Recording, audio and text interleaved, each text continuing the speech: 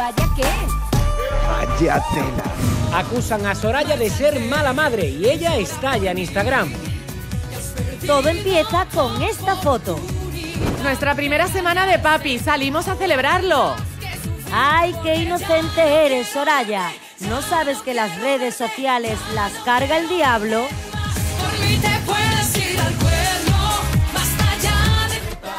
Terremoto en el cine español por las polémicas declaraciones de esta actriz vasca. Presten atención a cómo describe a los españoles. Culturalmente son un poco atrasados.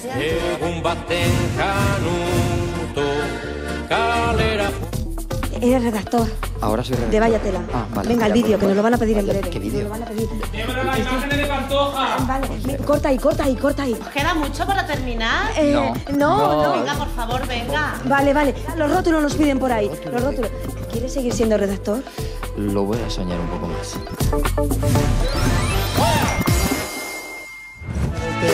Cristiano Ronaldo criticado por llevar un look de 20.000 euros. ¿Cómo es posible? Si lo que vemos es un muchacho con su traje de chaqueta, una gorra y unas bambas. Lo sabemos, nosotros tampoco entendemos la combinación.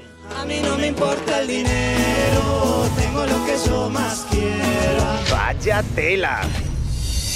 ¿Qué tal? Muy buenas tardes, bienvenidos a Vaya Tela. Miren ustedes, hacía tiempo que no sabíamos nada de Carmen Martínez Bordiú. Bueno, pues ha sido su cumpleaños, acaba de cumplir 66 añitos. ¿Y cómo lo habrá celebrado Carmen? ¿Tendrá un nuevo amor? ¿Lo habrá hecho con su familia? Miren, de momento sabemos que con su madre Carmen Franco no. ¿Por qué? Porque ella tenía otros quehaceres más importantes. Y nosotros nos hemos puesto a indagar porque, oye, ¿y si hubiera tensión entre ellas como ese tiempo atrás que lo hubo? Lo que queremos saber realmente es cómo está en este momento, que es el momento vital de Carmen Martínez Bordiú. Carmen Martínez Bordiú cumple 66 años. Y lo ha celebrado con una fiesta en la que han estado todos. ¿Cómo lo has pasado? ¿Cómo lo has celebrado? En familia, ¿Cómo lo has pasado? ¿Cómo lo has celebrado? en familia. Con su hija Cintia, con su nuevo nieto y con su madre. ¿Cómo ha pasado Carmen el cumpleaños? ¿Eh? ¿Cómo ha pasado Carmen el cumpleaños? Ah, supongo que muy bien. Yo me había ido a León, no lo he estado con ella porque estaba en unos ejercicios espirituales. ¿Cómo? ¿No estuvo tu madre en tu fiesta de cumpleaños? Seguramente esta celebración no habrá sido en el Pazo de Meirás, porque con la que hay montada, ¿Eh? ¿Eh? esta finca debe estar abierta al público para recibir visitas turísticas. Y según la prensa, la familia Franco pone muchos impedimentos para que los turistas entren. Carmen Franco ¿Eh? Lo desmiente. Eso yo no sé de dónde ha salido eso, porque todos los viernes eh, va gente, ya muy poca, en invierno va muy poca, pero no ha habido ninguna cosa, yo no sé, Desmiente usted y esa información. miento totalmente. Seguramente Carmen Martínez Bordiú haya celebrado su cumpleaños en el piso de 3 millones de euros que le regala en su momento el chatarrero, con el que supuestamente mantuvo una relación. Por cierto, ahora algunos medios apuntan a un posible triángulo amoroso entre Carmen Martínez Bordiú, Tita Cervera y el chatarrero. Miren qué titular. Tita Thyssen y el chatarrero, las imágenes que molestan a Carmen Martínez Bordiú. Ojo, estas imágenes no han visto la luz, pero la propia baronesa habla de esta supuesta amistad. Carmen Martínez Por Bordiú Dios. está un poco enfadada. Eh, no, Carmen es amiga mía. Este señor le están pintando un cuadro, una señora pintora que conozco y se ha acercado a mí por el cuadro. Pero nada más, somos amigos, es una gran persona, pero por Dios. Sí, bueno, el chatarrero había Ahora, y a Carmen la aprecio mucho y, y yo deseo y que, que salgan juntos. Y aunque Carmen Martínez Bordiú y el chatarrero han roto, podría ser una de esas relaciones que nunca terminan del todo. Porque son los dos, son el uno para el otro, de verdad. ¿Eh? El caso es que recién cumplidos los 66 años, a excepción de que su abuela, Carmen Martínez Bordiú, parece que sigue viviendo la vida con la misma intensidad que un adolescente. Bien, y de Carmen Martínez Bordiú a una de sus mejores amigas, por lo menos así lo fue en su momento, Isabel Preisler. Y de un misterio ya resuelto, la herencia de Miguel Boyer. Venga, lo vamos leo. A ver, vamos a ver cómo está la cosa, Sergio. Periódico El Mundo titular: Los herederos de Miguel Boyer deben dinero a Isabel Preisler. Ese es el resultado de la herencia. Yo es que me he puesto aquí a hacer cuenta y a mí me- no me Con sale. este titular lo que estamos dando a entender es que la herencia de Miguel no ha sido tan cuantiosa como se esperaba al principio. Pues efectivamente, es que resulta que la herencia de Miguel, él dejó a los, a los, a los tres hijos, sobre todo a los mayores, en parte iguales, recuerdos, pues que te digo yo, un coche viejo, una escultura, unos libros, y resulta que el dinero contante y sonante no estaba por ningún lado. ¿Qué pasa? Que cuando Miguel Boyer tristemente falleció, pues su viuda se encargó de los gastos de los funerales, tratamientos médicos, todo ese tipo de cosas. Y no había dinero, y ella lo ¿Y tuvo que poner de su bolsillo y ¿Y ahora, ahora son- qué pasa? Pues que ahora los hijos de Boyer se lo tienen que dar a Isabel porque ella lo adelantó. O sea, Entonces, que claro. Isabel Deudas. pagó unos gastos y ahora los hijos tienen que pagarle a Isabel esa cantidad de los gastos de la defunción, del fallecimiento, del entierro, etcétera. Y ella, Isabel Preisler, ¿qué ha dicho la reina de corazones? Pues haces cuenta, igual que yo, seguro. Bueno, no. Los herederos de Miguel Boyer deben dinero a Isabel Preisler. Sí, los tres hijos de Boyer deberán abonar a la viuda los gastos derivados de la defunción de su padre y a los que tuvo que hacer frente ella en su momento. Y es que la herencia del que fuera ministro de Economía no incluye dinero contante y sonante. Los tres hijos de Boyer, Miguel, Laura y Ana, tienen un mes para aceptar el legado consistente en tres coches viejos para Miguel, uno de ellos un Audi que cuesta más dinero arreglarlo que su valor, y libros. A Laura le corresponde una escultura, pero no una cualquiera. La firma Benjure y representa a su tatarabuelo. Y también libros. Ya está. Dos años antes de morir y con las secuelas del ictus, Miguel firma una declaración de herederos en la que designa a su hermano como albacea y reparte sus bienes a partes iguales entre sus hijos. A Isabel le otorga el tercio de libre disposición en el que se incluye un cuadro de su abuela. Los Boyer sospechan que el patrimonio de su padre era muy importante. De hecho, él compra la mansión de Puerta de Hierro, ahora propiedad de Isabel. En el momento de su muerte, los hijos mayores mostraron sus dudas. No pueden creer que haya números rojos en sus cuentas corrientes. Y Miguel Hijo llega a declarar esto. Según a quien te arrimas, te arruina la vida.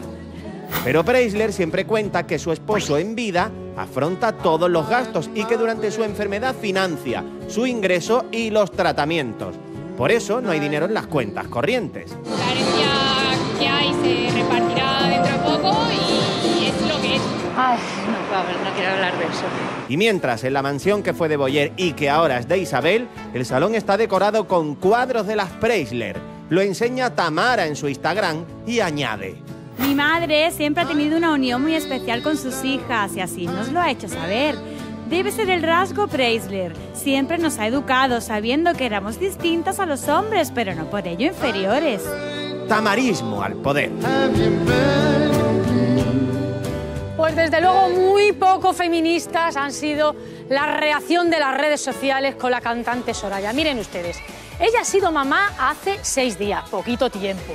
¿eh? Bueno, y ha decidido salir a cenar con su marido, con su pareja, para celebrar la maternidad. ¿Habrá algo más bonito que esa celebración por ese momento fantástico que están viviendo los dos? Bueno, pues miren ustedes, empezaron a llover la cantidad de, de críticas y de reproches en las redes sociales que no se hacen ustedes una idea. ¿Qué es lo que ha sucedido? Pues que la cantante se ha plantado y ha reaccionado. Esto ha dicho. Madre mía, madre mía, la que se ha liado con Soraya en las redes sociales. Acusan a Soraya de ser mala madre y ella estalla en Instagram. Todo empieza con esta foto. Nuestra primera semana de papi, salimos a celebrarlo. La pequeña Manuela vino al mundo hace una semana y sus papás, Soraya y Miguel, deciden salir a cenar para celebrarlo por todo lo alto. La cantante publica su plan romántico en las redes sociales para hacer a sus seguidores cómplices de su felicidad y no se imagina la que está a punto de caerle encima. Nuestra primera semana de papi, salimos a celebrarlo. ¡Ay, qué inocente eres, Soraya! ¿No sabes que las redes sociales las carga el diablo? ¿Y dónde está la niña? Madre mía, yo no me separaría de mi bebé con solo una semana de vida. Cada uno que haga lo que quiera, pero yo no me perdería ni un minuto de los primeros días de mi hijo. Mi niño tiene siete semanas y este domingo pasado fue el primer día que pude comer fuera. Yo tampoco lo entiendo. ¡Ay, la que se va a liar! Cualquier persona sensata sabe que con una madre primeriza no se juega. Imaginamos que a Soraya se le atraganta la cena al leer estos comentarios porque no tarda en contestar. Cada uno sabe lo que tiene que hacer con sus hijos y con su vida. No empecemos a dar lecciones. Si eso es ser una mala madre, soy una mala madre. Pero aún así es mi vida y mi familia. Y punto y se ha acabado. Así zanja la cantante el conflicto entre buenas y malas madres. Soraya, disfruta de tu pequeña Manuela a tu manera. Bueno, vaya tela con los comentarios que hay que leer a veces en las redes sociales. ¿eh? Desde aquí, Soraya, te mandamos toda, desde luego, nos solidarizamos contigo porque esto es una cosa absolutamente natural y normal. Bien, y el cantante, ay, uy, perdón, el cantante es uno de los actores más queridos por el público, actor divertido, entrañable, genial. Tendrá premios Pepe Villuela, un gran actor que además nos hace reír de esa forma, increíble. Bueno, pues resulta que está en Andalucía, lo tenemos por aquí de gira con una nueva obra de teatro. Fíjense ustedes, es queridísimo por todos, nosotros lo adoramos en nuestro programa y aquí en esta tierra, pero a partir de ahora yo no sé si esto va a ser recíproco. Nuestra compañera Débora ha ido a hacerle una entrevista. Resulta que él le ha contado que la obra tiene que ver con un sueño y ha sido nombrarle eso y a partir de ese momento ya, ya salió. No ha hecho más, más que dar cabezadas, Débora, uno, otro. Ay, Débora, hija, que no escarmientas. Vaya tela. ¡Ay, Pepe Villuela! Serendipity, señorita Serendipity. ¿Qué, qué, qué haces tú aquí? No, ¿Cómo hemos llegado a esto? no sé, yo, yo estaba soñando contigo en una, ¿Contigo también? una habitación de mármol. Eh, ¿Yo también? ¡Ay, Dios ¡No mío! puede ser! Pero, ¿Eso significa algo? ¿Pero eres de verdad o, o, o sigues...? Sí, soy de verdad, tú también. A ver, a ver, a ver. ¿Pero qué hacemos? Pues buscar la habitación de mármol, a lo mejor podemos llevar a cabo el sueño. Es que no nos conocemos. Vamos a intentarlo. Sí. ¿Nos arriesgamos? Sí, sí, No, me no gusta el peli. ¿Habitación de mármol ves ahí? ¿Qué es esto, mármol? Ay, eso es parece, ¿verdad? ¿Intentamos? Ay, sí. Venga, abre, abre. Esto es un camerino, ¿no? Sí. Bueno, pero... A lo mejor hay mármol, a lo mejor hay mármol. Entra, entra tú primero. De todas formas, Débora, tengo que decirte una cosa. En el camino me he dado cuenta que no... No eres tú con quien estaba soñando. No, la de la habitación de mármol no soy yo. No, no eras tú, es rubia, como tú. Mm, Pero es la mujer de mi amigo. Ah, Sueñas en una habitación de mármol con la mujer de tu amigo. De mi amigo. Y a mi amigo no se lo he dicho todavía, pero quizá fuera conveniente que se lo dijera. Ah, Tampoco se lo tomara tan mal, ¿no? ¿Quién no sueña con la mujer de su amigo? No, Es una obra que nos está dando muchas satisfacciones, sobre todo en, en el, en el escenario lo pasamos muy bien, compartiendo con el público. El público dice que se lleva deberes para casa, porque la, la función es una comedia muy trágica, pero que te hace pensar mucho sobre, sobre cómo estás viviendo y cómo te gustaría vivir. ¿no? Y eso de soñar con la mujer del otro, pues claro. Ay, Dios mío. No es así tanto eso como que realmente todos vivimos eh, con unos anhelos, con unos Sí. deseos que en el caso de la función se cuentan a través de, de- de ese deseo por otra persona, pero no solamente se trata de esos deseos, todos soñamos con otras, otras formas de vivir, otros trabajos. Quiero soñar, quiero soñar. Voy, voy, un momentito. No, es que realmente quiero soñar que tú estás formando parte de nuestro programa, en la redacción. De acuerdo. Vamos, Venga, vamos. venga, yo me apoyo en ti. venga. Y yo en ti. Ay, Dios mío. Mm. Ay. Sí. Hola, ¿qué Eh, tal? Eres redactor Ahora soy redactor. de Vaya Tela. Ah, vale. Venga, el de vídeo, que nos lo van a pedir en breve. ¿Qué Nos vídeo? lo van a pedir. las imágenes de Pantoja. Vale, mi- corta ahí, corta ahí, corta ahí. ¿Queda mucho para terminar? Eh, no, no. Venga, por favor, venga. Vale, vale. Los rótulos nos piden por ahí. Los rótulos. ¿Quieres seguir siendo redactor?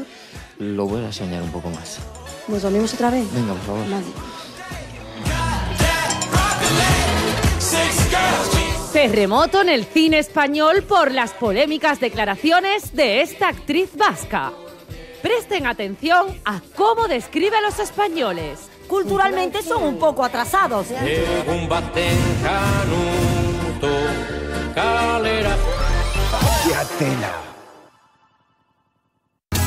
Volvemos en un minuto.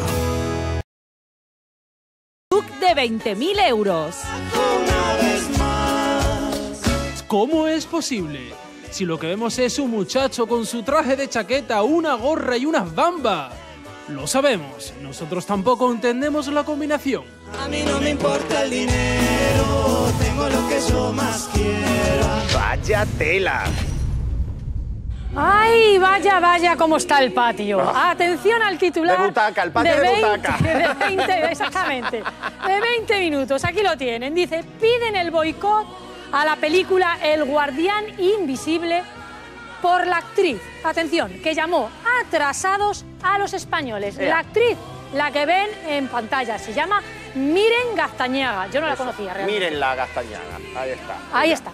Bueno, pues resulta que ella acudió a un programa de televisión De la ETV. en, de la ETV, en el que hacían promoción de la película y ahí, entre otras lindezas, pues se le ocurrió decir que los españoles éramos catetos, éramos atrasados, en fin, eso entre otras tantas cosas Claro. que contó en la entrevista. Era una especie de programa en el que con humor se describía a los españoles, ella entró como actriz de la... Y claro, ya se formó, ya se formó la mundial y está todo por internet poniéndola a la mujer Al final con los está. colores de la band- con la icurriña, claro, verde y rojo la están poniendo de todos los colores y intentando hacer un boicot a la película. Al Pero- final, el perjudicado, la perjudicada de todo esto, ¿quién es? Pues que no son la peli, que llevan tres años haciéndola y ellos no sabían para nada que esta actriz iba a hacer este tipo de Por declaraciones. cierto, hay que, hay que decir que esta actriz no es la protagonista de la película, es una actriz secundaria. Sí, vamos. Bueno, en fin, con su papel, pero Con su papel. una actriz secundaria. Pero claro, ya nos ha puesto a mala, a mí con lo que me gusta, unos buenos chiquitos, unas buenas cocochas, Ay, bailar el aurrescu por las mañanas, levantar piedra cuando se ha estoy en la playa. que se ha liado, que se ha liado las redes, ya en WhatsApp Con están lo guapo que está uno con una chapela para el frío, y más fastidiado, más, más fastidia el plan. Ya Bueno, pues que miren ustedes que al final la perjudicada de todo, no sé ya, es la película. Ay. Terremoto en el cine español por las polémicas declaraciones de esta actriz vasca. Presten atención a cómo describe a los españoles. culturalmente son un poco atrasados. Katetua Me viene la imagen de un cateto. ¿Catetos? ¿Qué has pasado, tía? Es carricasco. Su nombre es Miren Gaztañaga y aparece de refilón en la película El Guardián Invisible, una cinta donde sale nuestra querida Marta Etura como estrella. Las redes sociales han reaccionado pidiendo el boicot de inmediato y poniendo a parir a Gaztañaga. La famosísima actriz Miren Gaztañaga la conocen solo en su Icastola a la hora de comer. ¡Qué catetos somos! Ha recibido más de un millón del Estado y encima hemos de aguantar los insultos de su actriz Miren Gaztañaga, boicot El Guardián Invisible. Fernando Trueba viendo la película de Miren Gastañaga. Tiene las manos a lo largo del cuerpo. En vista del revuelo, la productora no ha tardado ni medio segundo en contestar y transmitir que Miren Gaztañaga es poco más que una figurante a través de este comunicado. Deploramos y rechazamos por completo cualquier insulto y falta de respeto a los ciudadanos españoles. La protagonista de la película es Marta Etura. La participación de Miren Gaztañaga es en calidad de actriz secundaria y su presencia en el largometraje es mínima. Ahí va UPA. Culturalmente son un poco atrasados. Me viene la imagen de un cateto. ¿Qué pensará Marta Etura de todo esto? ¿Se le ocurrirá a Miren, la vasca, volver a decir semejante barbaridad sobre los españoles? Twitter, de momento, le ha suspendido la cuenta. Pero de lo que estamos seguros es de que para la próxima, esta chica se lo va a pensar. Es carricasco. Pues han visto la productora de la película desvinculándose de esas declaraciones de la actriz. Y atención porque Cristiano Ronaldo es un icono de la moda para mucha gente. Fíjense ustedes, fíjense ustedes ahí en su jet privado. ¡Uy, qué elegantón, por favor! Con ese traje, así con pantalón pitillo oscuro, esas zapatillas deportivas, ese bolso a juego con todo. Vamos, la friolera cifra de 20.000 euritos. Que si usted quiere seguirle a la moda, prepare el bolsillito, porque fíjense, esas cantidades están al alcance de muy poquísimos, de poquísimos. Vaya derroche, Cristiano Ronaldo. Cristiano Ronaldo criticado por llevar un look de 20.000 euros. Qué baratito sale el niño, ¿eh? Vaya dineral, 20.000 eurazos como 20.000 soles alumbran al jugador. Ahora bien, pensarán ustedes, ¿cómo es posible? Si lo que vemos es un muchacho con su traje de chaqueta, una gorra y unas bambas. Lo sabemos, nosotros tampoco entendemos la combinación. Pero en fin, sacamos la calculadora y empezamos a sumar. Las zapatillas de CR7 cuestan 830 eurazos. El bolso, porque Cristiano lleva bolso. La criatura igual necesita meter sus cremas y esas cositas. El bolso cuesta 19.000 euros. Ya tenemos 19.830 euros y nos da la sensación de que el traje de chaqueta, la gorra, la camisa y las gafas de sol superan los 70 euros que faltan para los 20.000. Ay, con la de cosas que se pueden hacer con 20.000 euros. Por ejemplo, comprarse un coche, sacarse una carrera, pagar la entrada de una casa, vestir a tus niños unos cuantos años.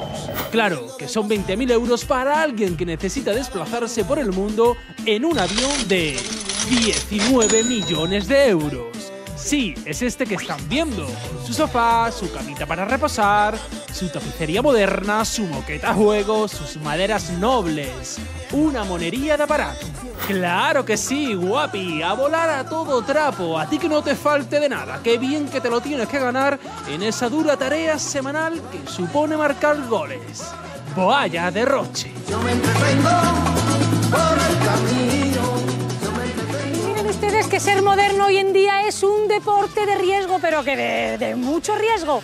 Y si no, que se lo pregunten a la actriz Blanca Suárez. Ahí la tienen, montando en monopatín y, atención, paseando a sus perros. No, no, no, vamos a ver, es que sus perros están tirando de ella que va encima del monopatín. No me digan ustedes que no es enrevesada la secuencia, la escena, ¿eh? la foto. Eso es muy complicado porque si ahora los perros ven a otro perrito y para arriba, pues se va a caer del monopatín. Bueno, en fin, es que si ustedes quieren ser modernos, tienen que seguir los siguientes consejos. Los, los siguientes consejos. Atención. Esta es la particular forma que tiene Blanca Suárez de pasear a sus perros, o más bien de que ellos la paseen a ella. Con el peligro que tiene. Te pilla mal colocada o te pisas el maxi pantalón fashion y te partes la crisma. Pero esos son los riesgos que corre uno con tal de ser el más moderno. Y es que estamos rodeados de modernos. Muy modernos. Pero ¿cómo identificarlos? La primera pista es esta, el sushi. Al moderno le encanta y si no, se inventará alguna cocina nueva. Mira, a día de hoy estoy muy aficionado a la comida. También en la cocina clásica, en la cocina, en el folclore de la alimentación de cada lugar. Es decir, que está aprendiendo a cocinar las recetas de la abuela. Atentos a cuál es su especialidad. Hago una crema de calabacín que aparentemente es sencilla, que me queda riquísimo. Que duele la cara de este guapo. Seguimos con las pistas de la modernidad. Se maquillan como muertas y dicen que eso es lo más y que sienta está bien. Cortarse el pelo es algo único, excepcional, como que nadie lo hace y que puede cambiar su vida y la de los demás. ¿Te gusta? Gracias. Lo único que aconsejo es que si tienes un remolino como este, terrible, no te lo cortes muy corto porque se te, cara, se te quedará de punta. Lo he vivido, pues. Tercer indicio. Cosas que todo el mundo hace todos los días las convierten en una pose digna de top model. Sea apurar la zurrapa de la bolsa de patatas fritas, sea llevar una escayola o sea sentarte en un pollete. El amor también tiene que ser más que moderno, posmoderno. Por ejemplo, eso de llamarse novios como que no. Y lo de convivir ni en broma. Eh, tratamos de compartir la mayor cantidad de tiempo posible, pero no, no convivimos permanentemente. Practican deporte, pero no como todo el mundo. A poder ser de riesgo, de mucho riesgo, de matarte, vamos. Y disfrazado, con el pijama de estar por casa.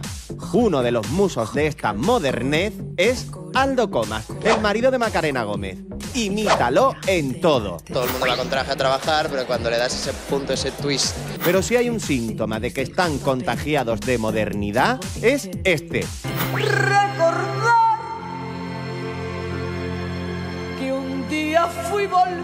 Sí, Pantoja es lo más de lo más entre los modernos de ahora.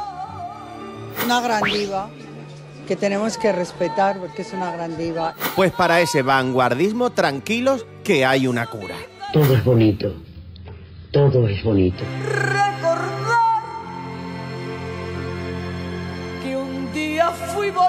Bueno, pues ahí lo han visto esos consejitos por estar a la última de lo último, ¿eh? si quieren estar a la moda. Bien, esta noche que volvemos con, vaya, con Váyate la noche, ay, que van a conocer a ustedes al malo, pero que también es malo, ¿eh? Pero malo malísimo, ¿eh? De la serie Entre Olivos. Es el paparazzi de la serie, lo vamos a tener aquí en nuestro plató, se llama Jesús Carrillo. ¿eh? Y todo lo que ocurre entre bambalinas en uno de los programas que adoran ustedes. Yo soy del sur, ay, qué de sorpresa, qué cosas han sucedido este fin de semana. Bueno, pues ya esto va a ser esta noche a partir de las nueve y media y ya les dejamos con la tarde con nuestros compañeros Juan y Eva. Buenas tardes. Feliz inicio de Hola, semana. Buenas tardes. Buenas tardes, igualmente. Muchas gracias. Hay que verla de cosas que hay que hacer para ser moderno. O sea, visto, que yo, yo me noto como muy antiguo, Sí, ¿no? Muy, estamos de modé total. tipo- yo- Eso es un trabajo como otro cualquiera. eh, Me, me quedan las pirámides viendo lo que hace la tropa. Pero bueno, ahí vamos. Te falta pasear en la cuadriga. Sí, totalmente. Gracias. Venga, Gracias, chao, Mar, hasta mañana. Hasta mañana, Mar. Juan y medio, Buenas lo que estáis feliz, muy buenas. ¿Qué Buenas, tal? ¿qué Buenas.